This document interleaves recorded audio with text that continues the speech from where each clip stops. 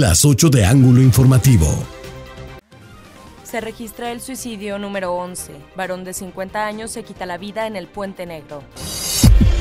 Fatal accidente en el kilómetro 34 de la carretera Durango-Parral. Choque entre dos vehículos deja un muerto y cuatro integrantes de una familia lesionados, entre ellos dos menores de edad.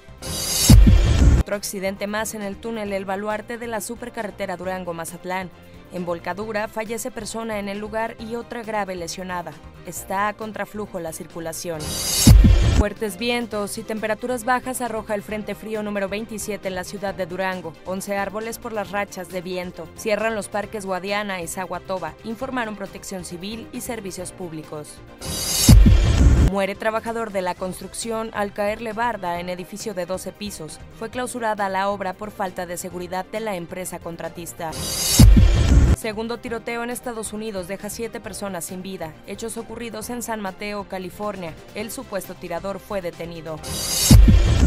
Ajuste de cuentas entre dos bandas causó la muerte de seis personas, entre ellos dos infantes en el estado de Veracruz.